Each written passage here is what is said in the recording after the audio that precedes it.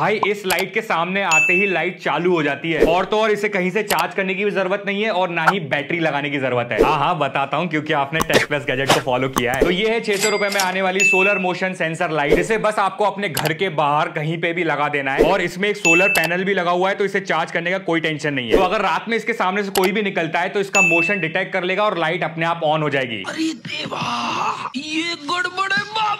थोड़ी देर बाद बंद भी हो जाएगी इसमें टोटल आपको 40 एलईडी लाइट मिल जाएगी तो अच्छी खासी रोशनी दे देगा एक बार चार्ज होने पे ये सात से आठ घंटे तक का बैटरी बैकअप दे सकता है और वैसे ये वाटर भी है तो आप बारिश में भी यूज कर सकते हो तो है ना काम की चीज तो अपने दोस्तों के साथ जरूर शेयर कर देना स्पेशली उसके साथ जिसकी जिंदगी में बहुत अंधेरा है